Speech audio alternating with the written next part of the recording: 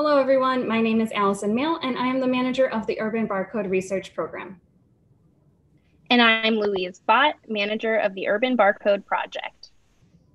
Welcome to the 2019-2020 Urban Barcode Symposium keynote address.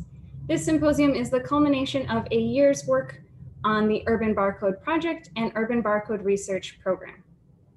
Before we move on, I want to acknowledge that student projects this year and in fact, all of our lives have been disrupted by the COVID 19 pandemic, which is why we're hosting the symposium virtually for the first time instead of in person. The last few weeks have also been particularly difficult for many. Protesters here in New York City, across the country, and around the world are expressing pain and anger at recent killings of Black Americans and centuries of racism and oppression against Blacks, Black people. We at Urban Barcode stand with those who seek justice. If you haven't already, I encourage you to check out dnabarcoding101.org. Student posters for all three of our DNA LC barcoding programs are available for viewing on the website. We are always proud of the teams that complete these programs, and this year we are especially impressed with how hard teams worked despite the disruption brought on by the pandemic. Teams analyzed data and created posters through virtual collaboration, all while adjusting to school from home and work from home. Some teams had samples that were locked away in schools or labs that they were no longer able to access, and many of those teams shifted their projects to analyze existing data, which is no easy task. Students and mentors, we hope that you are proud of all you have accomplished this year. We are certainly proud of you. For teams that were unable to finish your projects, we completely understand the situation you were in, and we support you should you wish to resume your projects at a later date when it is safe to do so. We also thank the parents and families of the participants in these programs. Your support is essential and appreciated. We are always thrilled to see so many students take an interest in scientific research. DNA barcoding has roots at Cold Spring Harbor Laboratory. In 2003, a group of scientists met at the CSHL Banbury Center to come up with a standard set of DNA barcodes that could be used to identify species, much like a UPC code identifies items at the supermarket. It turns out that DNA barcoding is a great way to identify species and has been used by scientists worldwide to identify products in the marketplace, correct mislabeled foods and natural health products, improve environmental monitoring, monitoring and measure environmental impacts of human activities. Students who participate in DNA barcoding projects contribute to science in a meaningful and impactful way. The Urban Barcode Research Program is part of the New York City Science Research Mentoring Consortium. We are grateful to other members of this wonderful consortium for their support, discussions, and advice. The consortium has been particularly helpful as we adjusted to the realities of schools and research institutions being closed and transitioning to providing online programming. Support for the New York City Science Research Mentoring Consortium and the Urban Barcode Research Program is generously provided by the Pinkerton Foundation. UBRP is also supported by Science Sandbox, an initiative of the Simons Foundation. The Urban Barcode Project is currently supported by the Thompson Family Foundation. We thank all of these foundations for their support of our student research programs and we also want to thank everyone at the Cold Spring Harbor Laboratory DNA Learning Center, in particular our Executive Director, Dave Micklos, our other New York City staff, Jenny Hackett and Melissa Lee, and Sharon Pepenella, who manages Barcode Long Island. With that, I'm going to turn it over to Louise. Thank you, Allison, for that wonderful introduction of our barcoding programs. Uh, this year, I have the distinct pleasure of introducing our keynote speaker. Dr. Corrie Moreau is the Martha N. and John C. Moser Professor of Arthropod Biosystematics and Biodiversity at Cornell University in the departments of Entomology and Ecology and Evolutionary Biology in Ithaca, New York. She is also the director and curator of the Cornell University Insect Collection with over 7 million specimens. Dr. Moreau earned her PhD in evolutionary biology from Harvard University and was a Miller Fellow at the University of California, Berkeley. Before this, before this, she completed her undergraduate and master's degrees at San Francisco State University. Dr. Moreau was elected a AAAS Fellow in 2018, a Kavli Fellow of the National Academy of Sciences in 2016, a National Geographic Explorer in 2014, and highlighted as a Woman of Impact by the National Geographic Society in 2018. Dr. Moreau's research on evolution and diversification of ants and their symbiotic bacteria leverages molecular and genomic tools to address the origin of species and how co-evolved systems benefit both partners. Also, she pursues questions on the role of biogeography and symbiosis in shaping macroevolutionary processes to better understand broad-scale evolutionary patterns of life.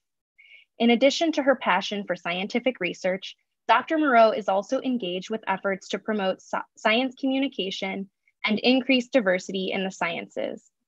I had the opportunity to hear Dr. Moreau speak in Brooklyn in 2017, and I remember her talk vividly.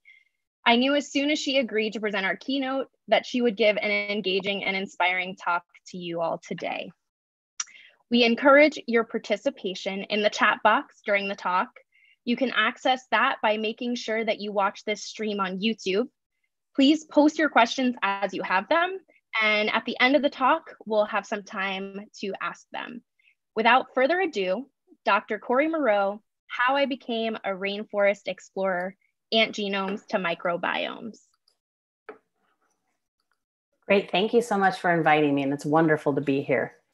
Um, I, am really excited uh, for you guys to be able, been able to participate in this program. It's unfortunate that we've all gone remote working for a while, but hopefully it's still been a really uh, um, engaging and fun experience for you uh, I believe strongly in sort of getting people exposed to science, and I, am excited that you guys are getting this opportunity so early in your careers. So I thought I'd share a little bit about sort of my background on how I became a scientist since before I jump into some of the research I do. So I didn't actually know any scientists growing up. That's actually my picture from kindergarten. And it's among one of my earliest memories. And it's because I remember that morning having an argument with my mom because my mom had been promising to sew my favorite butterfly patch on my jumper. And that day was picture day. And I said, But mom, I'd have to have the butterfly for my picture day. My mom said, Corrie, they're going to take a picture from here up. They won't even see the butterfly. And I begged and pleaded. So she finally quickly stitched it on my romper. And I remember back then you had to wait a while till you got your pictures from school. And I got my pictures. And I think that was the first time I ever felt like justice because there was my butterfly so clearly prominent in my picture from kindergarten. So I already had a love for nature at that age, but I didn't know any real scientists. The science I knew was from watching things on PBS and on, you know, television programs. But I still did, you know, sort of try to understand the natural world around me. I put out cookie crumbs anytime I could to watch ants. I went out and tried to pretend like I was, you know, capturing the behavior of birds in my neighborhood. And although I didn't realize it at the time, that was being a scientist.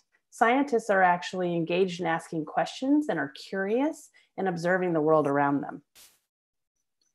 So I also wanted to share a little bit about how I sort of got to be where I am. It was a very nice introduction with all of these accolades and awards that I've won in my path to my scientific career. But it's not that I came from all of that. My parents did not graduate from college, and I didn't know any scientists growing up. I didn't actually really know what a scientist did before I went to college, other than the things I'd seen on TV shows. So I knew that there were forensic scientists who solved crimes and I knew that there were explorers that I saw in these programs, but I sort of thought they really only needed the ones that we'd seen on TV, that there was probably not a lot of opportunity for a kid like me. I grew up in Louisiana, and not only did my parents not go to college, um, no one in my family had even ever gotten a PhD. But the one thing I did know is I wanted to study biology. I loved knowing about the natural world. So, you know, I grew up in New Orleans, Louisiana, and I was in love with nature. But unlike, um, probably like many people, when I got to be a teenager, I sort of felt the societal pressures that it wasn't cool for girls to like bugs or science or math. And although I still continued to get really good grades in those classes, I didn't sort of express it as openly that that's where my passion was. But luckily for me, I still went off to university, to college, and I got to be able to study biology. And it was there that I had my eyes open to all the ways that you could sort of use a career in biology to ask lots of compelling questions. And I was really fortunate to work with some amazing scientists during my PhD. Um, I worked with Dr. Naomi Pierce, who's a specialist on butterflies and symbiosis. I walked with, worked with Dr. E.O. Wilson, who is a specialist in ants and a champion for conservation and many other things.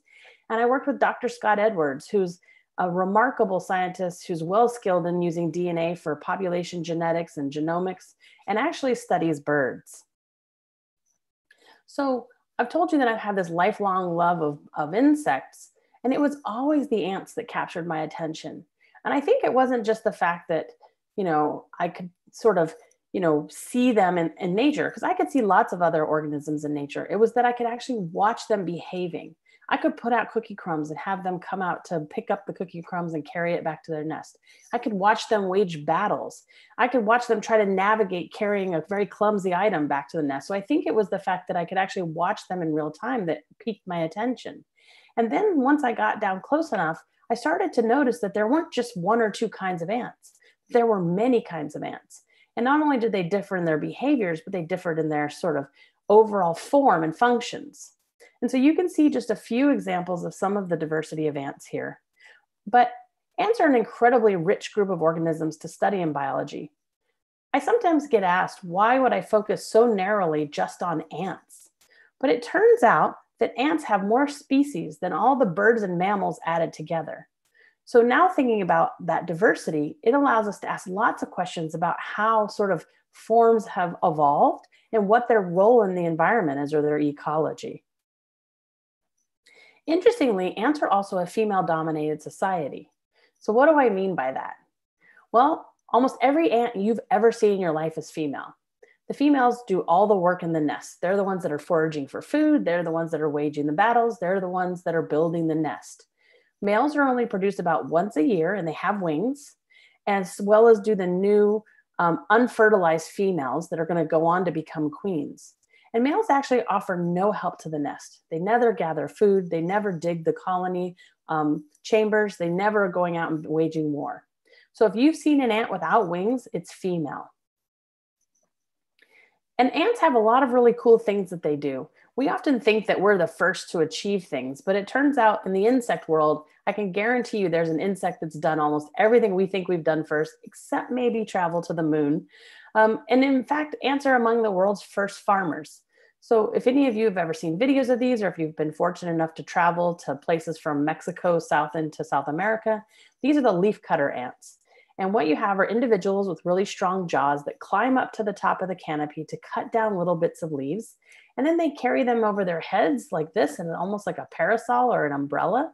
They carry them back to the nest and then they mulch them up into this. So what this is, is this is the food, this is mulched up and becomes the food for this. And this is a fungus or a mushroom. And it turns out that the ants aren't actually eating the leaves themselves. They're using the leaves to grow their food, which is the fungus. So they've been farming their own food for about 50 million years. In addition, ants can be used for medical um, situations. So these are army ants. And what's really unique about army ants is they have some of the strongest dimorphism. And what that means is that these two individuals are sisters, and these two individuals are sisters of two different species of army ants. And what we have here is that these sisters are responsible, the small ones, for going out and sort of doing most of the activities for the nest while these soldiers act as defense. And these very long mandibles, they almost look like the tusks of an elephant. And those are used to deter prey, um, to, to deter predators and capture prey. And they, they're incredibly strong jaws, but in fact, they're so highly modified, they can't even feed themselves anymore. And they actually rely on their sisters to feed them. But the way in which these ants have been used for medical um, uses is actually if you were to wound yourself in the forest, you can actually use those powerful jaws to clip closed as, as like stitches or suture wherever you've had that injury. And so what you see from this National Geographic article is here's an individual who had a wound. They're using the ants to clamp closed that wound. And then you're watching that wound heal through time where eventually all you have is the head capsule and then the jaws are sort of embedded in the skin. And eventually you can sort of pull those out once your wound is healed.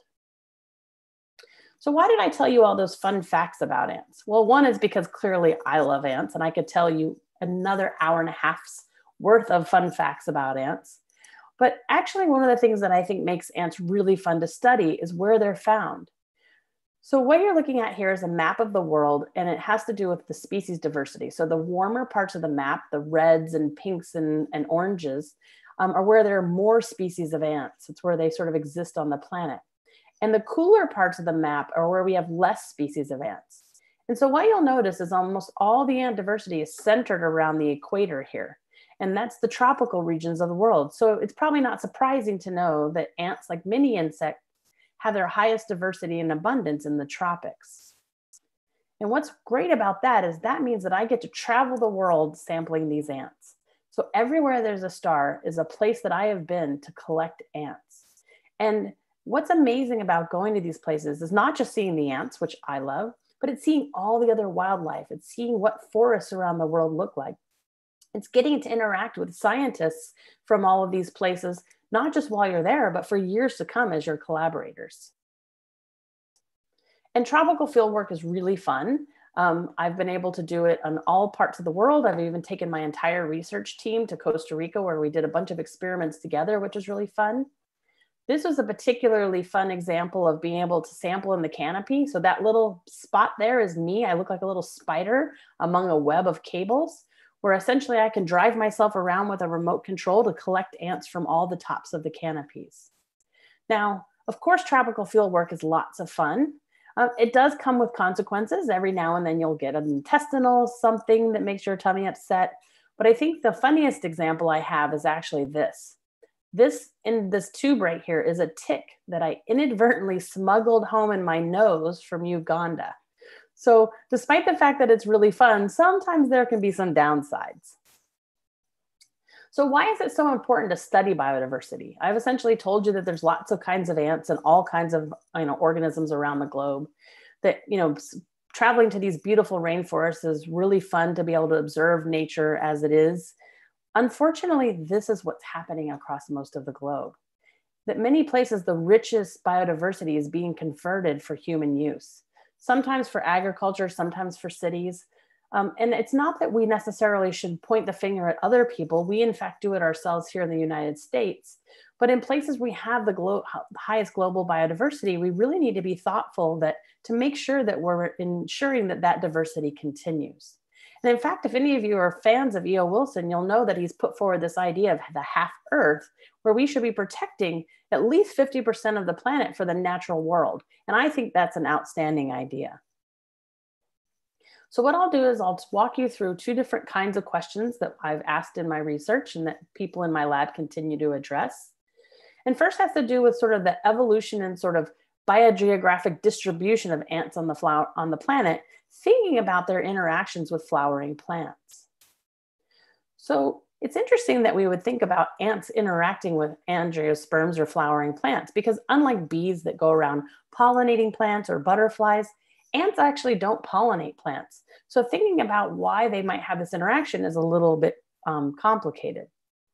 But there have been some reasons to think from the ant's point of view why it's beneficial to take advantage of this beautiful habitat. One of which is we know some ants actually live entirely in the canopy.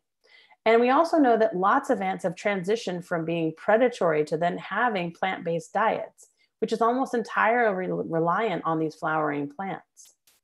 But ants are still beneficial to plants. Um, there are a whole group of plants that rely entirely on ants to disperse their seeds. So, what you're seeing here is a seed and this little piece on the seed is called an elaiosome. It's sort of a fatty body that's produced specifically by the plant to attract ants. So what happens is the plant drops its seeds, then ants come around and see this delicious little fatty body, pick up the seed, carry it away closer to their nest, chew off the fatty body, and then throw the seed away. And the reason that this is important is it's essentially ending up in seed dispersal for the plants. So now the parental plant that's been shedding all the seeds doesn't have competition with its own young or its own saplings. And this is so important in plants that over 11,000 plant species rely on ants to disperse their seeds. And it's evolved independently at least 100 times across the plants. So there is this sort of reciprocal interaction between ants and plants. So to try to tease this apart, the very first thing I had to do was to infer a family tree for ants. So just like you've been doing with your DNA barcoding, it's a very similar technique where we go in and we sequence bits of the genome to try to figure out who's related to who. And just like you've been able to see that using DNA barcoding is powerful to help you identify a species, we also know we can use it to sort of build family trees or to know how networks of species are related to one another. Now, when we published our work, most of the research that was published, um, uh, most of the stories about our research that were published were completely accurate. This one was not, in fact. And what's interesting is they said that we had analyzed the DNA of fossilized ants trapped in amber. Now, I wish we had that Jurassic Park like technology where we could go into a fossil and pull a little bit of ant DNA out and then build a giant ant. No, I'm just kidding. But I do wish we could use the fossils in that way so that we would really know where do those fossil species sit in the sort of evolutionary family tree of ants. But we do have other techniques to incorporate them. So what we did is once we had that family tree of ants, we went in and looked at the fossil record. We actually looked at actual ant fossils ourselves. We also looked at the fossil literature and felt comfortable because we wanted to be highly conservative. And lucky for us, there are thousands of ant fossils that we could use 43 as minimum calibration points. Now, what that means is if we have a group of ants and we know that a fossil belongs somewhere in that group, we can say that that group is at least as old as that fossil and is probably older. And then we can use some analytical techniques and some statistics to help us inform on how old the ants in fact are.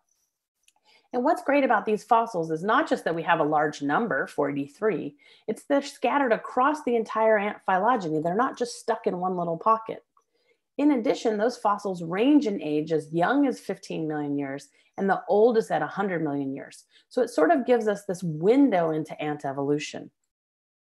Now, once we conduct those statistical tests and analyses, we can put an age on the ants. And the ants are probably around 140 to 168 million years old.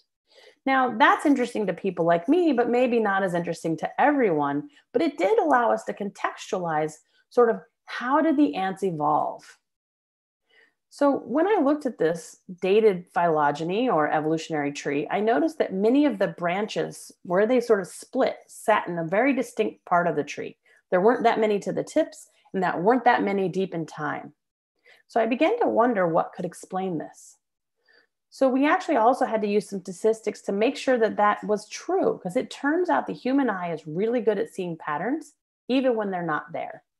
So what you're looking at here is called a lineage through time plot. And all that means is that we're looking at time from the present through 250 million years ago. Then we're looking at how those branching events increase through time. And you can see that whether we look at it in this sort of sheer numbers or whether we bin them into this histogram, we can see that right around 100 million years, something happened. They started to sort of increase in numbers quite quickly. And we teamed up with some botanists and we were able to demonstrate that that completely corresponds with the sort of rise and dominance of the flowering plants.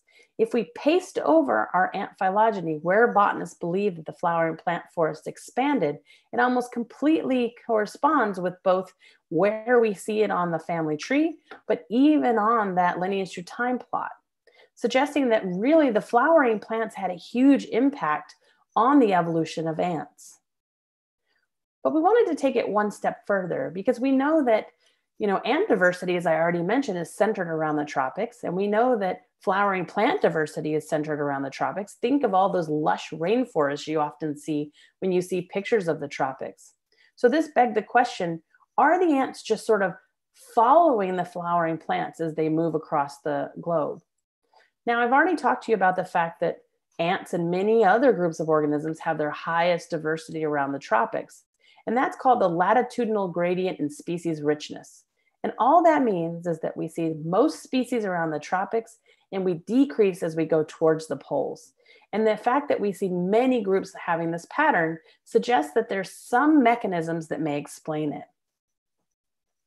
So to test these hypotheses, we had to infer an even larger ant family tree so we can include even more information about where ants are found on the planet. Now, there have been some hypotheses to explain that latitudinal gradient in species richness or why we have more species in the tropics. And the first was sort of put forward by Stebbins, where he said, maybe the reason we see more species in the tropics is it's acting like a cradle. So a cradle is exactly what you imagine. It's in reference to babies. And what he's essentially saying is maybe that's just where new life is evolving more frequently. So essentially in the tropical regions, you have more species arising more quickly. So you through time, you would just accumulate more species in the tropics. But on the flip side, maybe the tropics are acting as a museum where you're sort of holding the ancient life and it's persisting longer, meaning that maybe species are arising equally across the globe, but extinction is so high in the non tropical regions because the tropical regions have been so stable and persistent through time, it's allowed those sort of older lineages to exist there. So through time, because of extinction in these sort of temperate regions, the tropics would just end up with more species. So this was really great because it set out some expectations or some hypotheses we could test. We can ask the question, is the tropics just acting like a species pump where just more species are being generated so quickly and we end up with more species there? Or are the tropics acting as a museum where the oldest parts of the phylogeny or the evolutionary tree are persisting, and that we really only see new species arising both in the tropics but also in the temperate regions? So, how do we incorporate that information? Well, since ants are distributed globally, the first thing we needed to do to determine how we were going to sort of bin the sort of global diversity. And many biologists have long recognized these six biogeographic regions because they have very interesting patterns about biological diversity. So what we had to do is this is just a subset of the list. We had to take every single species that was in our phylogeny and then mark whether it was present in one of those regions or in multiple of those regions. Well, interestingly, if you know anything about these regions, you know that they haven't been in their current configuration through all of history. So we also need to incorporate time. So what do I mean by that? Let's imagine we have a species that's currently found in South America, but we want to understand what's the probability that it could migrate to Africa? Well, more than 100 million years ago, the answer is 100%. It absolutely could just walk straight across because those land masses were completely touching. But as those land masses drifted apart through time, we needed to decrease the migration probability between those regions till eventually we get to our current configuration of where those are. In addition, other regions that were completely non connected in the past, think of India colliding with Asia, we had to account for the fact that those species should now be able to migrate easily back and forth between one another, but maybe historically couldn't through time. So, take into account not just the presence absence of where these species are, but the probability that they can migrate based on evolutionary time allowed us to sort of infer the sort of ancient biogeographic ranges of these species. Now, the first thing you'll notice is that almost every pie on this family tree is green, and that's the neotropical region. And so, interestingly, what it looks like is that the neotropics are incredibly important, sort of for deep time evolutionary history of the ants. Now, I couldn't put all the pies on the tree because it'd be very, dis, you know, disconcerting to look at. But we, in fact, did examine that, as well as the fact that we can take something about what we know about ant biology and currently, the neotropics hold more species and unique endemic genera than any other region of the world. Now, interestingly, when we went back and compared when did ants arrive in these different biogeographic regions with what we know about flowering plant um, biogeography, we don't find that the ants are just tracking right behind the ants. I mean, the ants aren't tracking right behind the plants. So it doesn't appear that, that the angiosperms had to be there. What we actually hypothesize in the fossil record suggests is that ants were actually pretty globally already distributed at this time, but they were in pretty low abundance. They didn't seem to be sort of the ecological champions that they are today. But when the flowering plant forests arrived, they really increased in our numbers. Now, if we go back to those hypotheses that have been put forward to explain that latitudinal gradient in species richness, what it appears for ants is that the neotropics have acted both as a museum, it's where we see almost all the oldest lineages, as well as a cradle, because it's where we have the current largest number of species for ant diversity.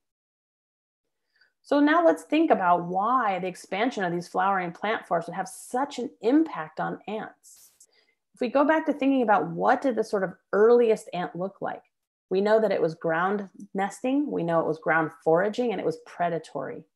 And when the flowering plant forest came along, it provided this whole new dimensional structure for them to forage in, to look for pre prey items, and even to feed on.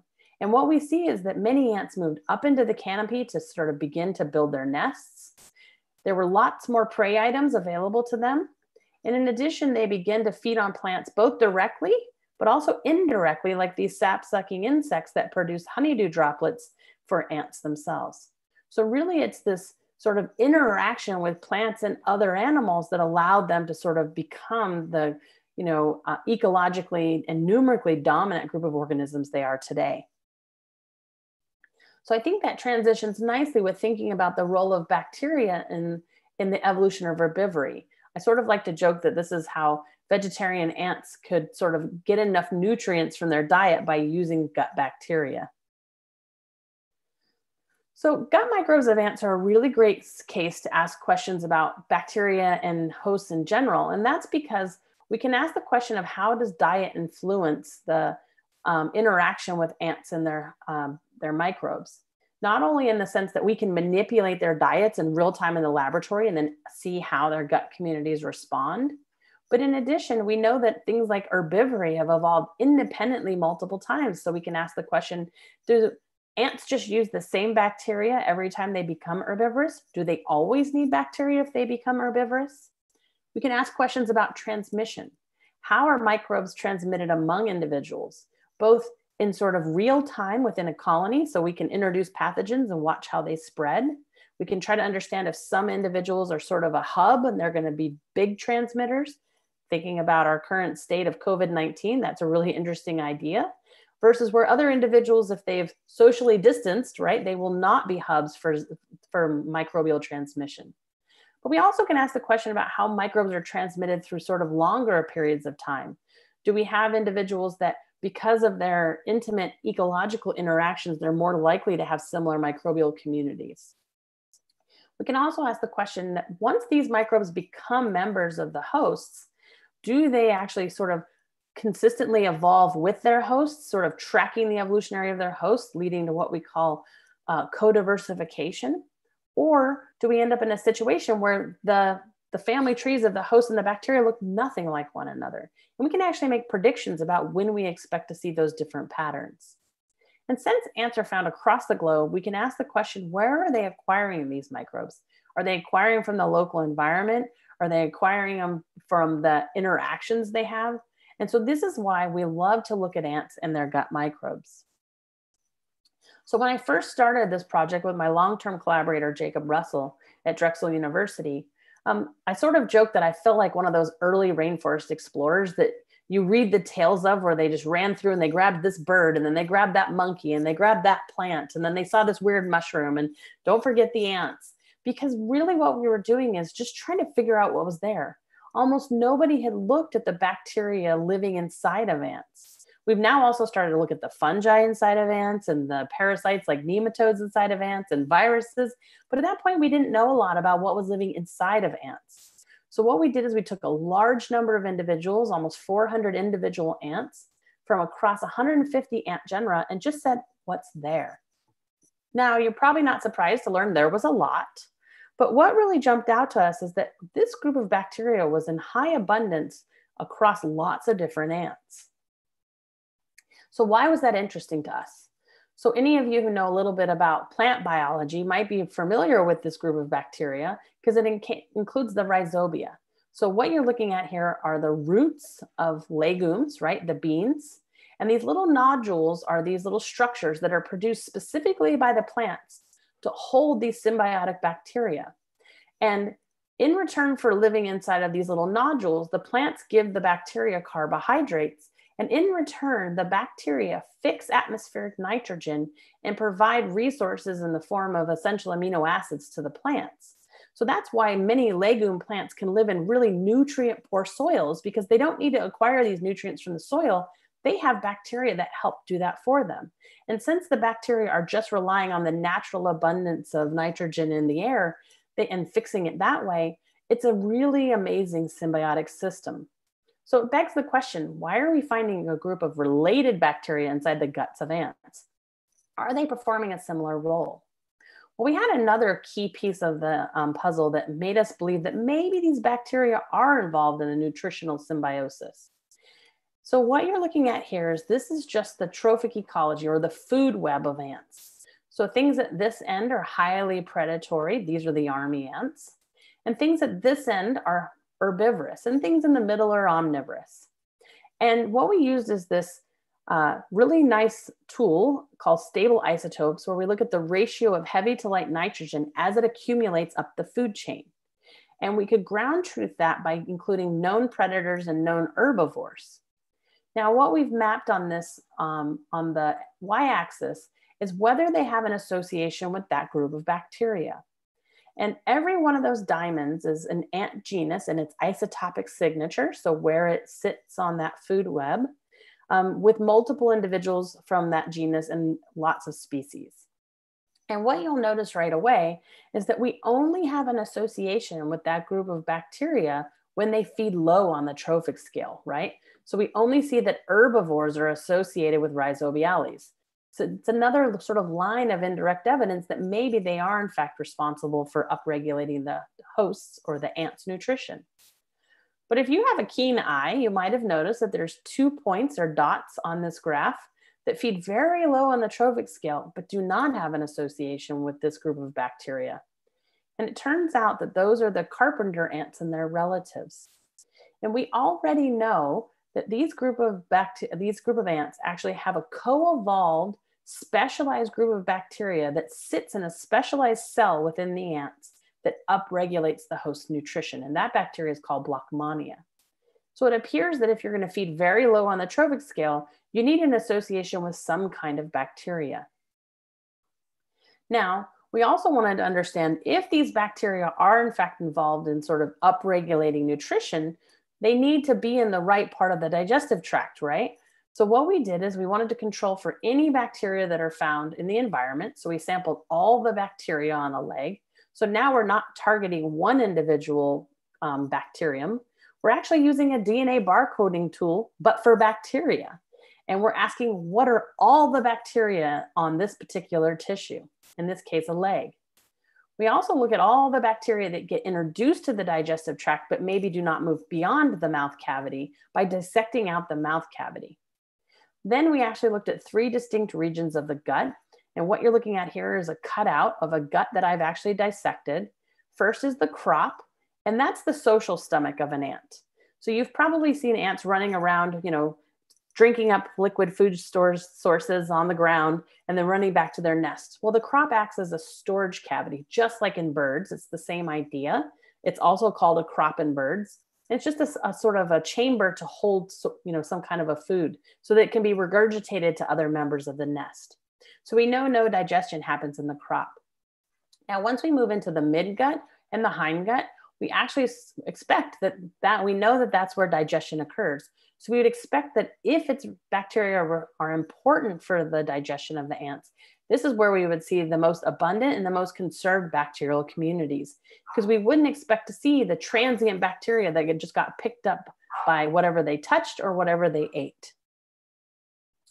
So what you're looking at here are pie graphs, and this is only a subset of them, but all I want you to take away, and we can just look across the top panel, is that different tissues have different bacterial communities. And that's really suggestive that maybe, in fact, what we see is that there could be an important role for bacteria. Now, another way to look at this is through what's called a PCOA plot. So, all this is telling us is that the more similar the entire bacterial community is, the more similar those dots will be in location. So, all the samples that came from the leg, the mouth, and the crop have no pattern, suggesting that there's just random bacteria that we're picking up.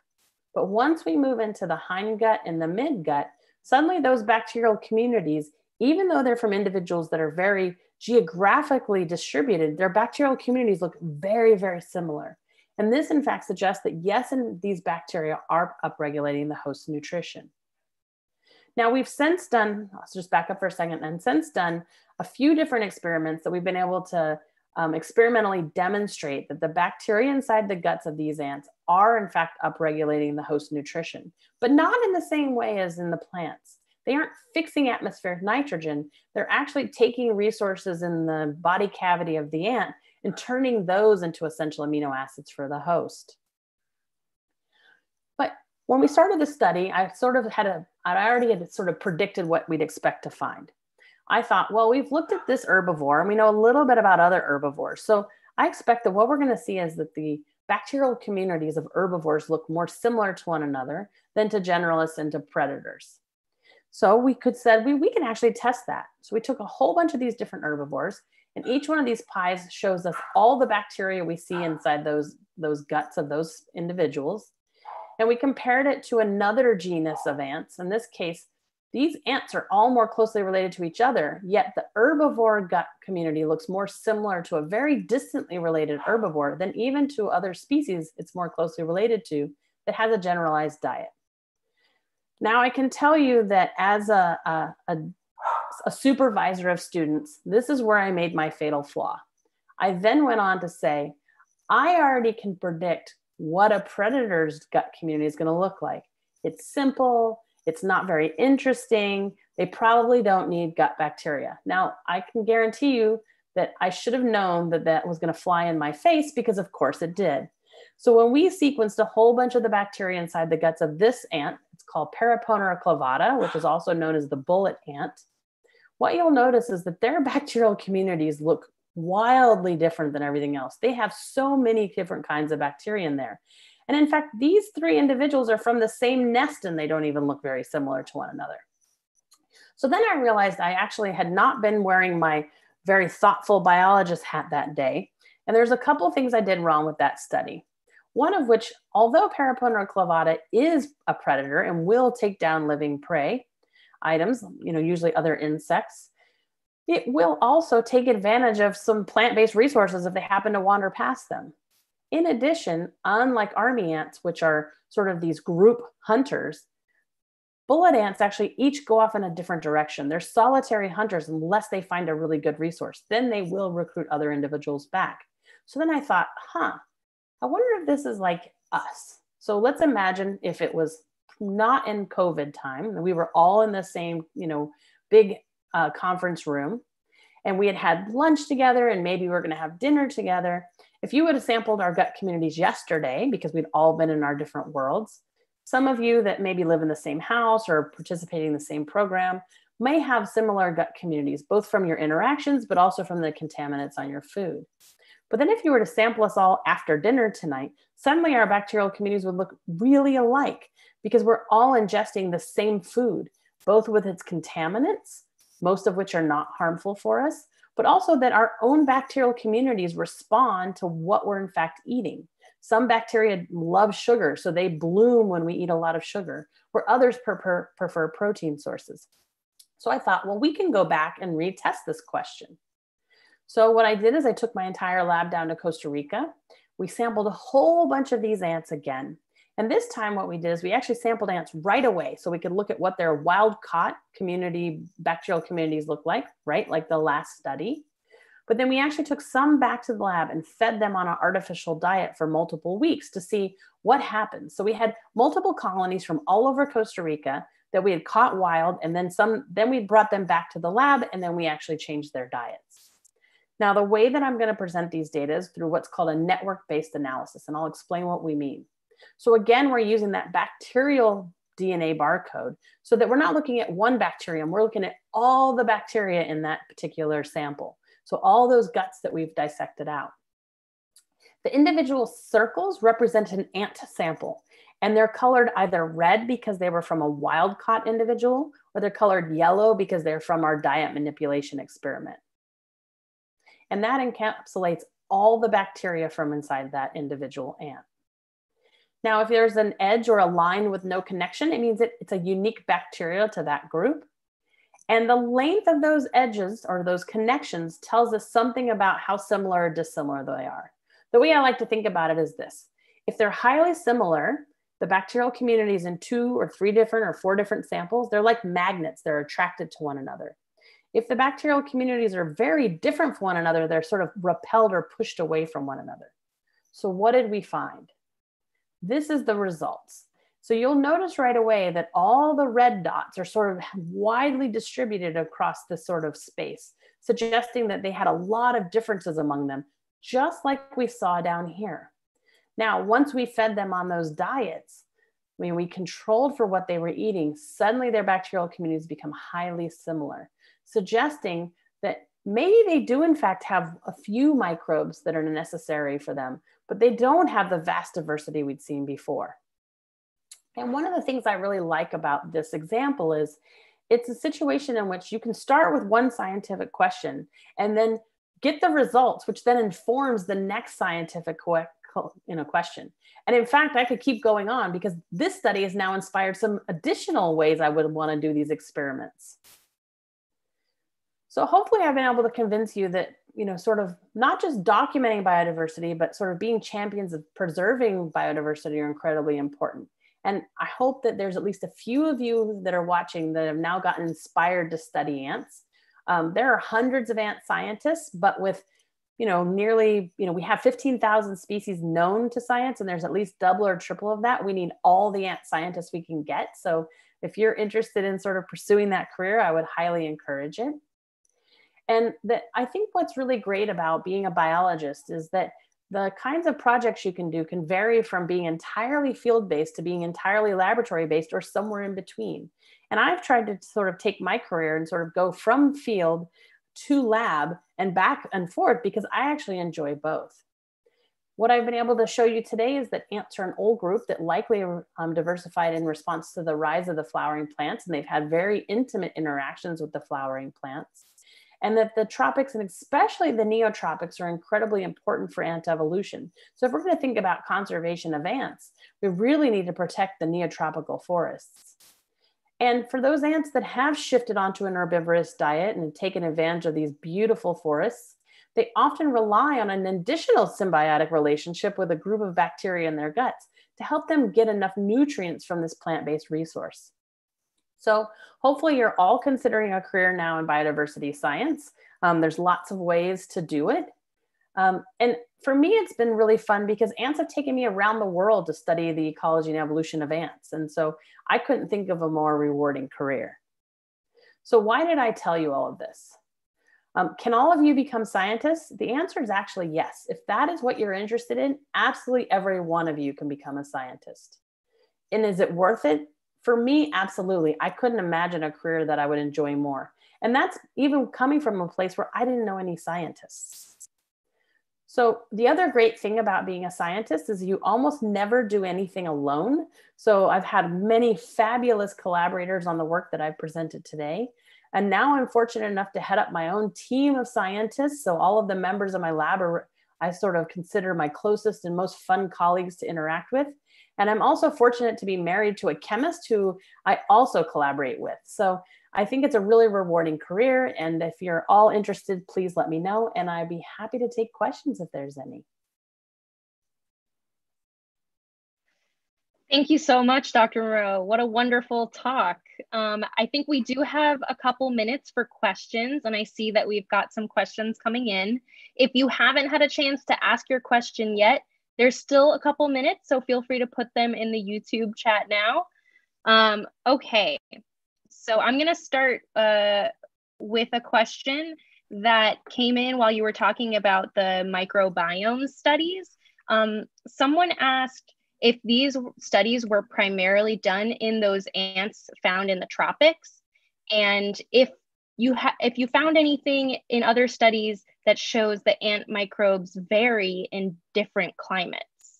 Yeah, that's a great question. Um, interestingly, not all those studies were done in the tropics. I've worked in lots of places that are not in the tropics too. You give me any chance to go outside and I will do it. Um, but interestingly, what we do find is that the most stable and persistent gut communities almost always come from herbivores. Now, of course, there are herbivore species found across the globe, but there's the most number of sort of uh, obligate herbivores, meaning that they won't take in an ins- dead insect here or there in the tropical regions. And some of it, I think, is about availability. If we think about if you relied only on plants when you were living outside, I live in upstate New York, you guys live in New York, there's not a lot of trees or plants with a you know material available. So what we see is that you have to have that food available year round. So it just turns out there's more herbivores in the tropics.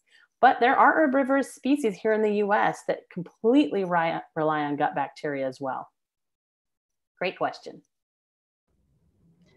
All right. I think our next question from the YouTube chat is Does the host physiology have impact on the microbial communities in the ant?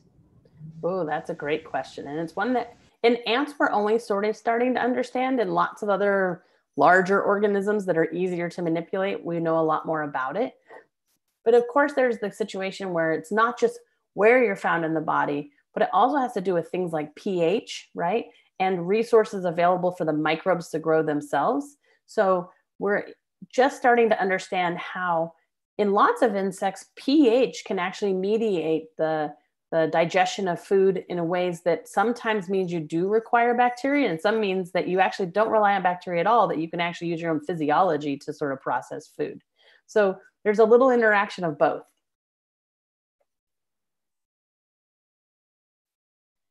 All right.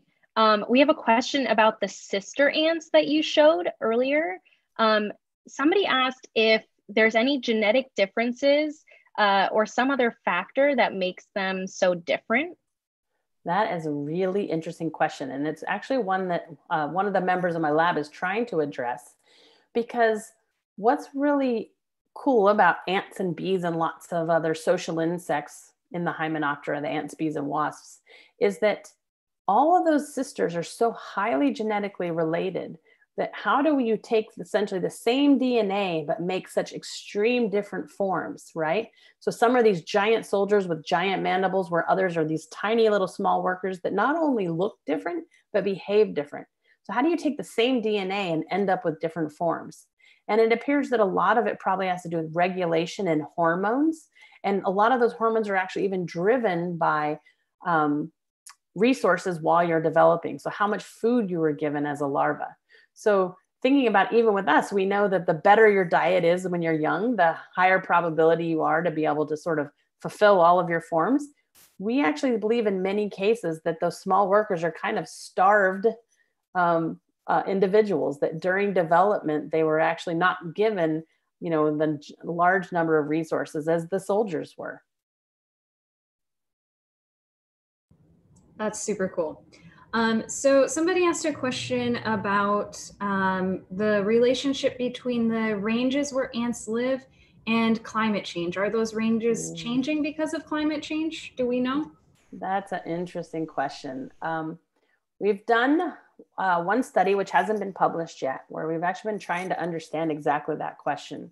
So what we're essentially doing is mapping all of the known distributions of ants currently in this case, we're looking at North America because we have the largest number of records. So we have, you know, close to 100,000 records of ants across the Canada, the US, and Mexico. And we're asking the question, which climate variables predict where they are? Um, and then what happens if we use some of the predictive modeling about what people expect with even conservative scenarios of climate change? And of course, what we see is that the projection is that ants are going to move northward pretty dramatically. But the downside of that is that we know that most ants actually live in small populations in very isolated regions. So, could they keep up with the rate of change that's predicted with climate change? And most of those predictions are no. So, in those cases, those populations or species will actually go locally extinct, which means extinct for them. In addition, we've been doing some modeling to ask the question well, what happens with invasive species? And interestingly, there, of course, they're going to con- continue to expand their distributions, but they'll definitely keep up with the rate of climate change. And in many cases, we know that those invasive species have really terrible impacts for native species. So even for the native species who can persist through time, these invasive species might actually still lead to the um, extinction of many species. Yeah, invasions are are crazy. um, okay, we have kind of a fun question next. Uh, what's your favorite place you've traveled for Oh, work wow. or for science? That is a really great question. Um, you know, I don't I don't know if I could pick one. I will say that the South American Amazonian rainforest is one of my favorite places to be in the world. And it doesn't matter which country I'm in. I just love that everywhere you look, there's something that you didn't expect to see, whether it's some poison arrow frog or a species of ants I'd only ever read about, or whether it's these beautiful morpho butterflies, or whether it's little tamarin monkeys running around the trees. I mean, it's just unbelievable to sort of see all of that diversity. Really cool. Um, yeah, I, I, haven't traveled that much for my work, and it sounds like a really uh, a missed opportunity for my job. Um, so, uh, one more question from our YouTube chat, which is: Are there differences between uh, uh are there differences in the bacterial load between different locations of the ant gut? Oh, that's a great question. Um, in fact, yes. So we can use what's called quantitative PCR or qPCR to ask the question exactly how many bacteria are there, not just the identity. And remember, we were looking across that digestive tract. What we see is that within the, the crop, we see, even though there are a lot of species of bacteria there, they're all in really low abundance. They're essentially just contamination from whatever they ate last. Once we move into the midgut, suddenly that bacterial load or the number of, of bacteria there goes up tremendously. You end up with, you know, sometimes on the average of 10 to 100 times more bacteria than we see in the crop. And that persists throughout the rest of the digestive cavity. So, suggesting that it's not just the um, identity of the bacteria there, it's also the density of the bacteria there that are important for upregulating the host's nutrition. These are really sophisticated questions. I'm impressed. Thanks. um, all right, so I think we're gonna wrap it up with one last question. Um, it's what advice would you give to students who are interested in becoming an ant scientist just like you? Oh, that couldn't make me happier.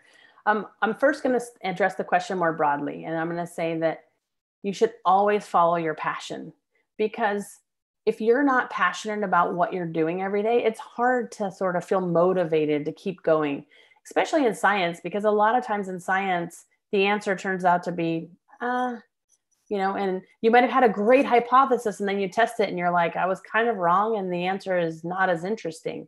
But that can spur the next question, right? And so I think if you're not passionate about what you do, whether it's in biology or not, it's really hard to sort of feel dedicated and, and creative and curious every day. If you want to become an ant biologist, um, there's lots of ways to do that. If you have a natural history museum near you or a university near you, reach out and see if there's someone there that knows something about ants. Um, it's a great opportunity to start getting exposure to what kind of things we do with ant science. Um, if you reach out and they don't have anyone, you could ask if they know anyone because I guarantee you there's somebody nearby doing work that you could shadow them in their lab or at least go and meet them and see what they do. Um, there's, of course, tons of great books available and resources online. Um, and, you know, eventually when you get to that point that you're confident about it, please email me and we can talk about your career in myrmecology.